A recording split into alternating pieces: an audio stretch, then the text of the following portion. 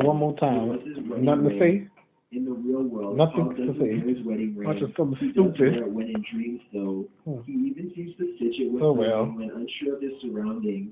At the end of the film, as Cobb spins the top, you can clearly see he is wearing his wedding ring. Oh. This would suggest that Cobb was in a Oh, well. dream.